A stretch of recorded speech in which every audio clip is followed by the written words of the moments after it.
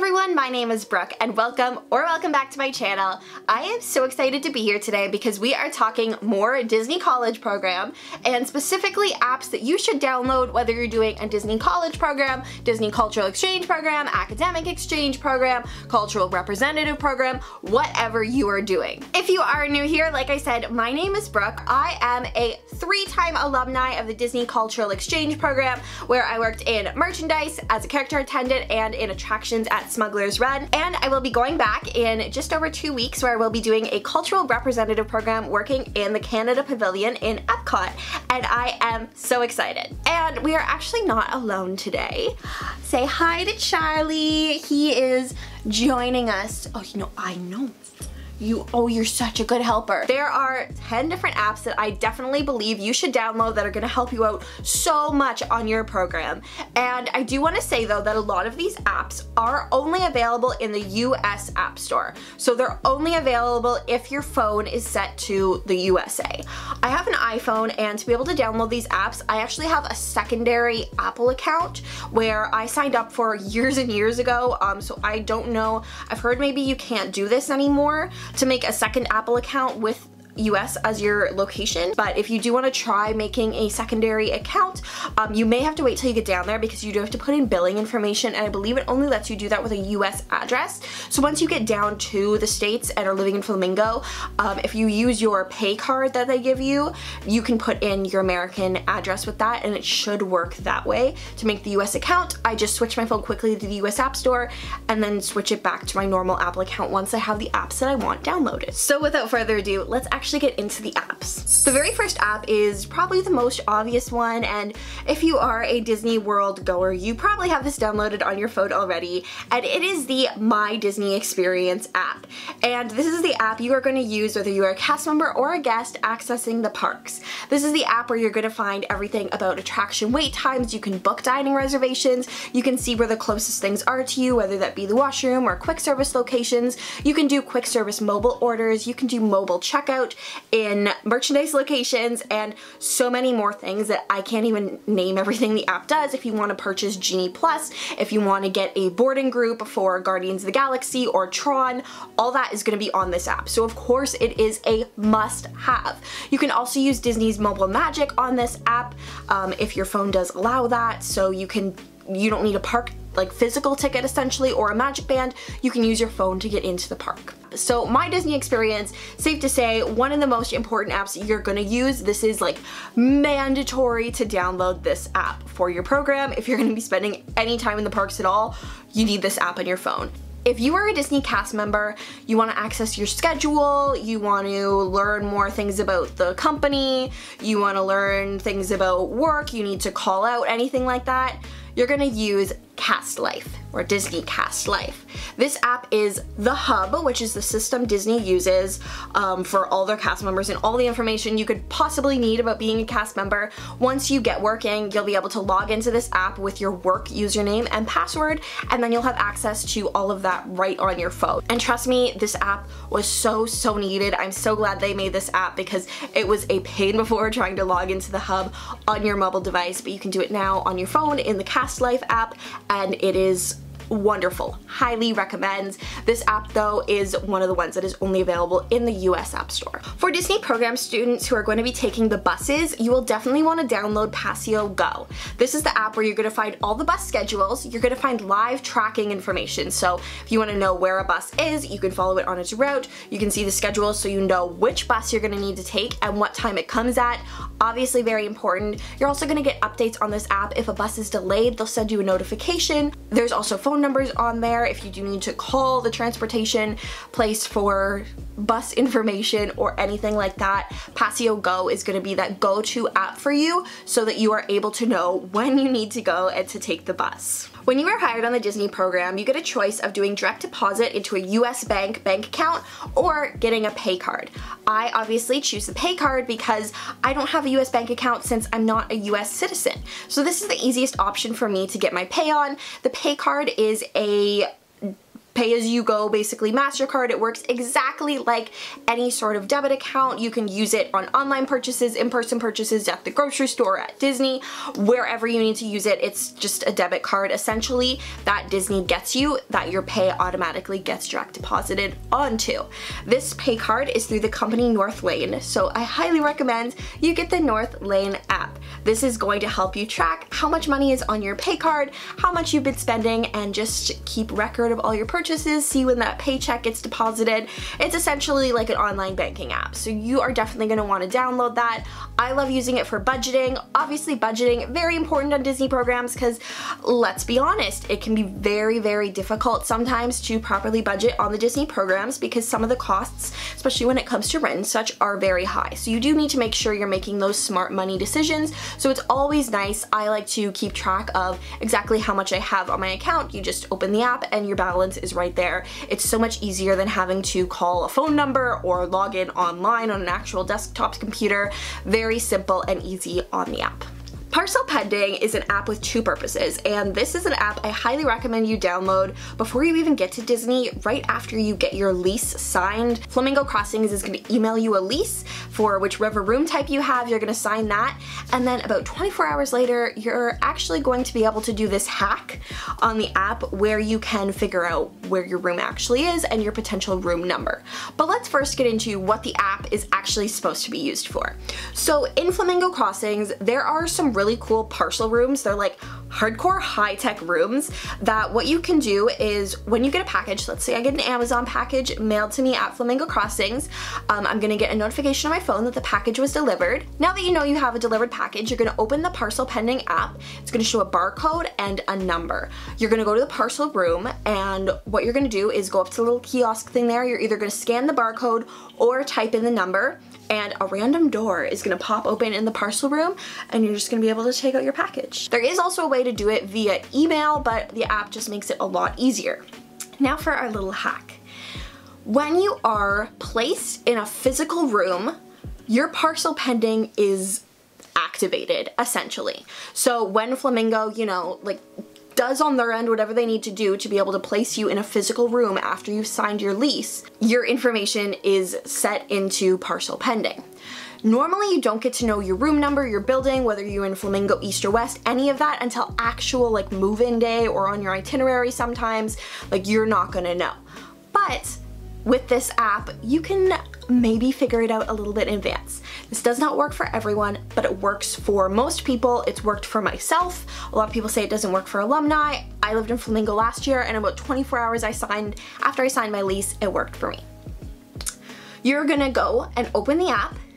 You're gonna hit forgot password where it says username after you have forgot password, that's gonna be your email address. So you're gonna type it in. If you hit then hit submit and it says um, your email isn't in the system yet, it means they haven't placed you in a room yet. But if you hit submit and it works, it's gonna send an email to your email address to reset the password. Of course, follow the steps to reset the password, log in with your email as your username and your new password, go to my profile, scroll down, and it's gonna show your building and unit number um, and then based off of that you can find out whether you are in Flamingo East or Flamingo West. If your address says Sandpiper Landing Way that means you are in East and I believe it's something Pigeon something if you are in West. Now let's be clear. Now small disclaimer that I just want to put in here don't share this information with anyone.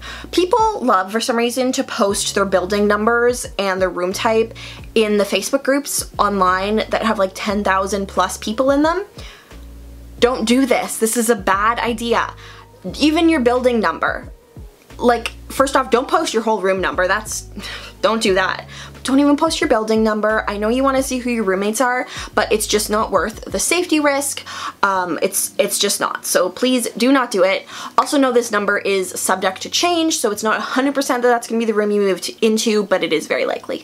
Next up we have GroupMe, and GroupMe is a great app also to download before you get there to help find you friends and maybe a roommate that you potentially want to link with as well. So if you download GroupMe, go on the Facebook groups and just like search GroupMe and you'll get a whole bunch of different groups that have been created of people. They're just chat groups. So essentially like WhatsApp or just like a messenger app, but there are these big chat groups that have been created of general DCP, certain arrival dates, certain roles, um, certain specific interests, people who want to go to Universal, people who are looking to go to church together, like a whole bunch of different things. There's so many different GroupMe's and GroupMe's are a really great way to start interacting with people and also meet people that have similar interests to you. So when you get down there, there might be a few people that maybe you want to meet up on move-in day and that's a really, really great way to start making some friends while you're there. So if you are really looking to make a lot of friends or not sure how you're gonna make friends once you go down there, you don't know anyone, you wanna start getting to know people before the program even starts, definitely get GroupMe and get into some of those groups. Disney Movie Insiders. And you're like, Brooke, how could, how could this app possibly help me with my Disney college program? Let me tell you. Disney Movie Insiders is an app available to everyone. Even if you're not on Disney programs, I still highly recommend you download this app, whether you are or you are not. Disney Movie Insider is an app where you can earn reward points. So these reward points come from so many things. If you buy a physical copy of like a DVD of a Disney movie, it'll come with a sheet with a code inside. You can enter that code into the app and get points. If you go see a movie in the theaters, you can scan in your ticket and you'll earn points. Also, sometimes random points just get sent to you. Disney puts out codes all the time on the Disney Movie Insiders Facebook page of just like words that you can type in and it's like a secret code for like 5 or 10 points or something like that. If you get emails from Disney Movie Insiders every month, there's a bonus points offer in your emails of a specific code for you personally to enter in your email that'll give you a certain number of points.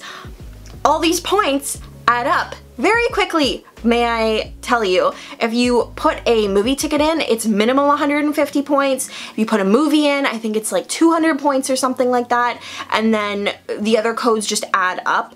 I personally have been able to accumulate quite a few points and I never buy DVDs and I like never go to the movies. So these are just the free offer points. You can redeem these points for Disney gift cards or other Disney merchandise. I always go for the gift cards because that's the most useful thing to me, but 500 points is a $5 Disney gift card, 1,000 points is a $10 Disney gift card. If you get like really, really like tens of thousands of points, you can like you can trade them in for like VIP Disney tours and stuff sometimes, um, or just really cool exclusive merchandise. And I like doing the gift cards and saving them for my Walt Disney World trips or my programs because $5, like that's a coffee, you know? It's essentially free money for taking like two minutes a week to go and find the code and type it in. It's so easy, so simple, and literally gets you free money. And on the Disney College program, trust me, those gift cards can go a long way. Uber or Lyft. You're gonna want some sort of ride service, ride sharing app, and even if you aren't using it all the time, in case of some sort of emergency situation, you wanna have these apps on your phone. There's so many different reasons, so obviously if you get stranded somewhere, um, you're gonna want some sort of ride sharing app or if you want to go to Universal you're gonna need some sort of ride sharing because there's no direct transportation from Disney housing to Universal so you're gonna need an Uber or a Lyft or make a friend with a car if sometimes the bus doesn't show up you may need to Uber let's say the bus is very full at the end of the day after you're done work and there isn't a spot for you on the bus, you're gonna have to wait another like half hour for the next bus to come you might want to Uber. It's gonna be like $10, $15. You might want to Uber. If you and a bunch of friends from work, like let's say there's four of you that all want to split that $15 Uber to go home a lot faster because the bus doesn't come for another half hour, it's nice to have Uber on your phone because you'll pay for like a three, four dollar Uber ride and get home so much faster. Because those bus rides are, I think my bus ride from Hollywood Studios is like 45 minutes both ways. Like 45 minutes there, 45 minutes back they're long bus rides and you don't always want to take a bus. Um, I know sometimes I got bus sick so if I had like a really bad headache I knew I was gonna like not feel too great on the bus so I would just take an Uber home. They're a really great solution. Um, obviously be careful like Uber safety, Lyft safety like just because it's in Disney doesn't mean it's perfect but so just be aware of your surroundings like you would. Um, tell someone you're getting into an Uber, all that kind of stuff but definitely have the app downloaded because it will help you out. UV Lens is an app I use all the time in Disney, at home, all the time. It tells you the UV level outside. You can put in your skin type. It tells you how fast you're gonna burn. If you put on sunscreen, you can put in the details of that sunscreen, whether it's water resistant, what the SPF level is on it, all that stuff. And it's gonna tell you how often you need to apply that sunscreen so you're not getting burnt, how often you can stay out in the sun, and how long you can stay out in the sun super important. It's Florida. The sun will burn you and it will burn you fast. So it is very important to know to keep your skin safe. Um, it tells you how long you can be out there to tan and not burn. Also really, really beneficial. Um, and it also sends you alerts. So let's say you do put on sunscreen and it's like 80 minutes till you need to apply again. In 80 minutes, it'll actually send you an alert to your phone. So you know then that you need to apply again so you're not forgetting, which is really helpful. And then app number 10 is the Play Disney app. This app is used while you're in line in the parks or just hanging out in the parks for fun. And also if you have a Magic Band Plus, this app is really, really useful and just for fun. There's this, this app is simply for entertainment purposes, but I highly recommend getting it whether you're on vacation or on a Disney program. So while you're in line for certain attractions, there are games you can play on your phone to help you pass the time, along with just games you can play throughout the park. Um, there's actually a really, really cool one I highly recommend playing on the Millennium Falcon. And if you play it on the Millennium Falcon, it actually interacts with the ship. So the actual Falcon, like the physical thing, makes noises when you're playing the thing on the app and doing all this stuff. It's really cool. There's stuff like that all throughout the parks. You can also play Bounty Hunters if you have a Magic Band Plus in Galaxy's Edge. Um, I won't spoil what that is, but it's a really fun game. This is what you can use to collect all your Fab 50 statues, which I'm actually not 100% sure are still there. I think they are, but I'm not 100% sure. I haven't been to the park since the 50th anniversary ended. We used to be able to scan and collect all the Fab 50 statues, and it's, it's just a fun little activity in the parks. Really really great, especially if the parks are really, really busy and the lines are really long. Um, it helps pass the time or gives you just a little bonus activity to do.